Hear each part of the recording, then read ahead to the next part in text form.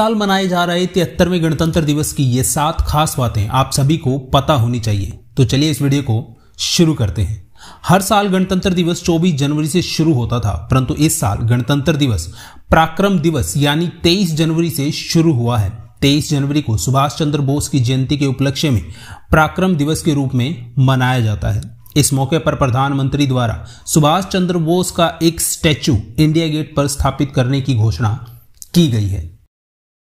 पचास सालों में पहली बार अमर जवान ज्योति इंडिया गेट पर नहीं दिखी। जी हाँ जैसा कि आप जानते हैं, अमर जवान ज्योति का विलय नेशनल वॉर मेमोरियल की ज्योति में कर दिया गया है। तो इस बार गणतंत्र दिवस पर शहीदों को श्रद्धांजलि नेशनल वॉर मेमोरियल में दी गई है। बहत्तर सालों में दूसरी बार बेटिंग रिट्रीट सेरेमनी में नहीं बजेगी महात्मा गांधी की फेवरेट धुन अबाइड विद मी जी हाँ सरकार ने निर्णय लिया है कि तिहत्तरवें गणतंत्र दिवस की बेटिंग रिट्रीट सेरेमनी में अबाइड विद मी की जगह अब ए मेरे वतन के लोगों गाने की धुन बजाई जाएगी। अबाइड विद मी एक इंग्लिश गाना है जिसे सन अठारह में हेनरी फ्रांसिस लाइट ने लिखा था। इस वर्ष को हम आज़ादी के अमृत महोत्सव के रूप में मना रहे हैं। इस मौके पर पहली बार भारतीय वायुसेना के 75 एयरक्राफ्ट ने मेगा फ्लाई पास्ट किया और कॉकपिट में बैठे पायलट्स ने इसे लाइव स्ट्रीम भी किया। ये ऐसा पहला इवेंट है जो गणतंत्र दिवस की हिस्ट्री में पहली बार हुआ है।